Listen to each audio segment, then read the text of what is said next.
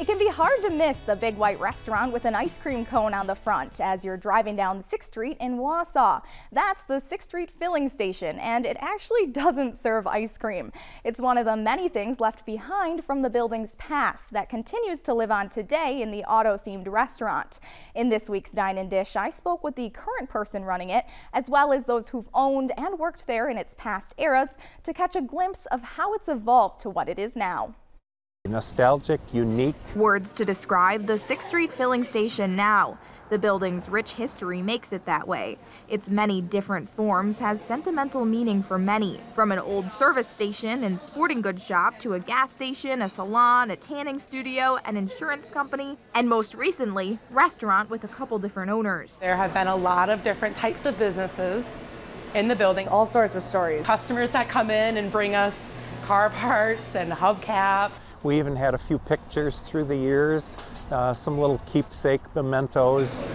I love hearing our customers come in and talk about their memories here and the nostalgia factor. You know, the garage doors that you can see were actual garage doors at one time. That's how Ole Johnson remembers it. He worked in the building in the 1950s when his uncle owned it. It was a sporting goods store and a gas station. We used to have two gas pumps in the front.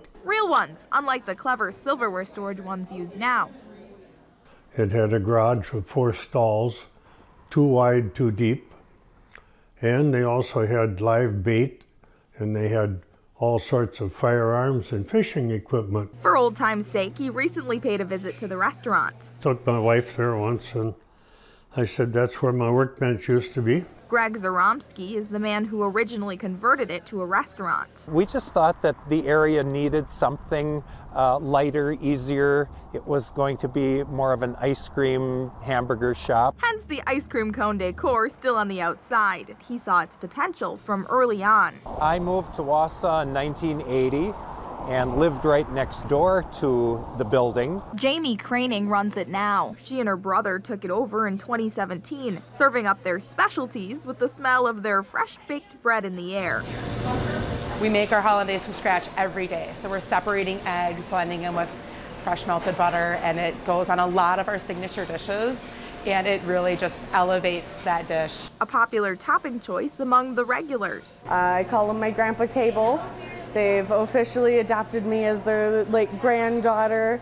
I've seen them every yeah every Tuesday Friday for the last five years that I've been here. Jamie says working in hospitality has been her lifelong dream. Something I've always loved to do. I've always worked in a restaurant my entire life. And 6th Street Filling Station gave the green light at just the right time. It was a big year for me. I turned 30. I got married and our dad passed away um, pretty quickly. This opportunity just popped up really, really quickly, and it was a sign that my brother and I took from our dad that we're going to be all right. Reminders of dad? Yeah. Scattered throughout the restaurant. It's great. My dad lives on through us um, every day here. So maybe you don't have a deep memory tied to the ever evolving, nearly century old shop, but the next time you drive by and giggle at the sign, you'll know why. It's one of those ways that my dad kind of carries through in the things that I do every day. Reporting in Wausau, Hannah Borkert, News Channel 7.